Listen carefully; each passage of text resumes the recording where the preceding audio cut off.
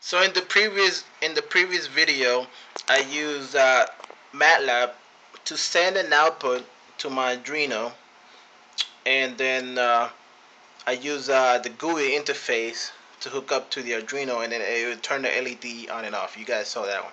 Now what I did this time is I used this Arduino Uno as an input to send data to MATLAB, and uh, the input that I used to send to my Arduino was the simple uh, traffic light project that I built a while ago using my Arduino standalone.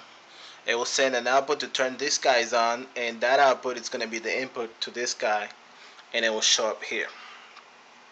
So what are we going to do? I built this little app. Here's my code and uh, everything's ready to go. Let me minimize this. Minimize that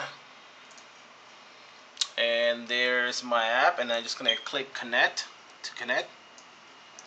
And uh, should be uh, communicating with my Arduino Uno and when these little lights blink that means it's working so they're connected. So what I'm gonna do is I'm gonna turn this light on and this should be able to tell the state of this.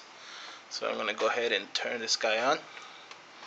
It's on green yellow and red. Okay. So now over here it should detect the state of this guy. So right now it's red and red. Change to green see? Both green. That's going to change to yellow. Both yellow. And back again to red